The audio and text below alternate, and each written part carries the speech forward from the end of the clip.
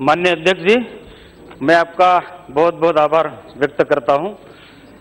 मेरे एक संसदीय क्षेत्र और गुजरात सहित पूरे ट्राइबल बेल्ट में नर्मदा में रिज़र्व फॉरेस्ट एरिया के लोग मौलिक सुविधाओं से वंचित हैं। उन लोगों को यातायात के लिए सड़कों का अभाव है और उनके खेतों को पानी भी नहीं मिल पाता है, सिंचाई हेतु। उनके बच्चे स्कूल स्कूल के अभाव में शिक्षा प्राप्त करने में असमर्थ हैं।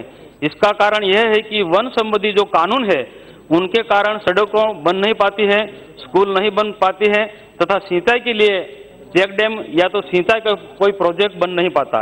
केंद्र सरकार का कहना है कि विकास संबंधी कार्यों में कोई देरी नहीं होती है, परंतु मेरे संसदीय क्षेत्र और पूरे ट्राइबल बेल्ट में आदिवासियों को मौलिक सुविधाओं के लिए जो निर्माण कार्य होना है, उन्हें अभी तक स्वीकृत नहीं मिली है। इन सब के कारण वनों में रहने वाले आदिवासी लोग शहर जैसी सुविधा से वंचित रहते हैं।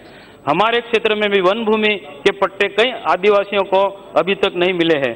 तो मेरा सरकार से इस संबंध में आग्रह है कि आदिवासियों को तत्काल वन भूमि के पट्टे के अधिकार दिया जाए और सड़कों का सड़कों सहित मौलिक सुविधा तत्काल प्रदान की जाए। धन्यवाद, सर। धन्यवाद धन्यवाद।